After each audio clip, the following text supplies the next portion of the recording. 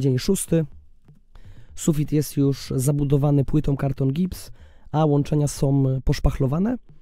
Teraz musimy tylko wkleić narożniki i praktycznie będziemy mieli całość przygotowaną do szlifowania.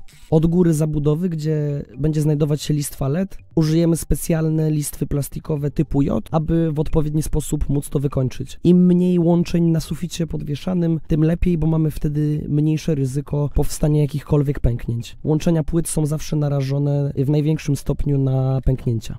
Obszar nad oknem oraz słupek został już poszpachlowany na pierwszy raz. Zabudowa została wykonana w taki sposób, że po przyklejeniu paneli podłogowych na suficie w tym miejscu, tak jak widzieliście w pierwszym filmie, linia sufitu będzie się zgrywać z linią sufitu w pozostałej części pomieszczenia. Ściana od drugiej strony została już pokryta płytą karton gips. Dzień siódmy. Narożniki na sufit podwieszany oraz listwy J zostały już wklejone. Rozpoczęliśmy szpachlowanie całościowe ścian po otynkowaniu brust elektrycznych. Niestety nie udało nam się poszpachlować samych brust, trzeba było poprawić i naprawić całe ściany, aby to wyglądało do przyjęcia. Został wykonany sufit podwieszany w sypialni nad częścią, gdzie będzie zabudowa stolarska, gdzie będzie szafa. Sufit również jest nieforemny, a jego linia zgrywa się z linią sufitu w salonie. Dzień ósmy. Wiadro z mopem czeka cały czas przygotowane na codzienne sprzątanie klatki. Niestety w trakcie wykonywania brudnych prac, takich jak prace instalacyjne, wyburzenia czy szlifowanie gipsu, codziennie należy zmyć klatkę, aby nie mieć potem problemów z sąsiadami. Sufit w całości również został cały wyszpachlowany. W rozdzielni brakuje jeszcze opisu poszczególnych obwodów. Wykończenie wnęki na pasek LED sprawia zawsze największy problem, ponieważ jest tam bardzo mało miejsca. Należy użyć jak najwęższych narzędzi, jak się da, aby zrobić to porządnie. Kable wypuszczone są oczywiście do transformatorów LED w miejscach, gdzie będzie rozpoczynać się zasilenie paska.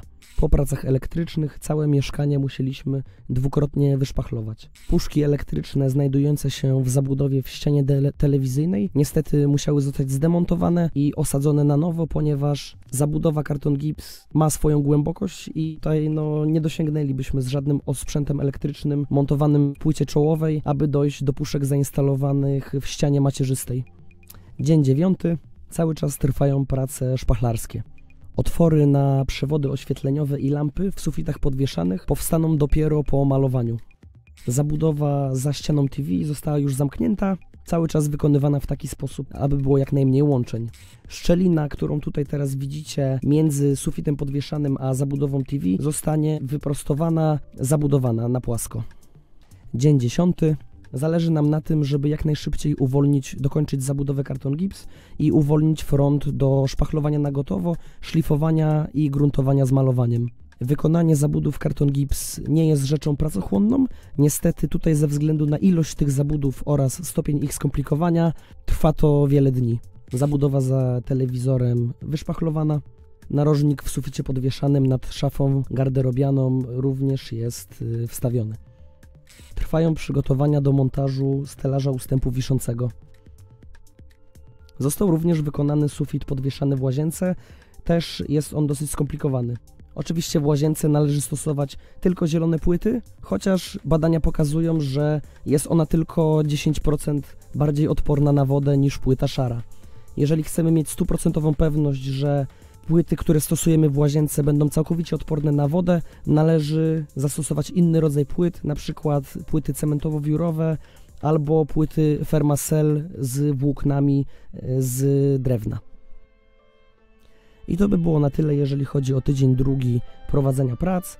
W tym tygodniu głównie skupiliśmy się na wykonaniu zabudów karton gips oraz na przygotowaniu mieszkania do malowania. Grzesiek cały tydzień praktycznie szpachlował oraz wklejał narożniki. Widzimy się za tydzień. Do zobaczenia.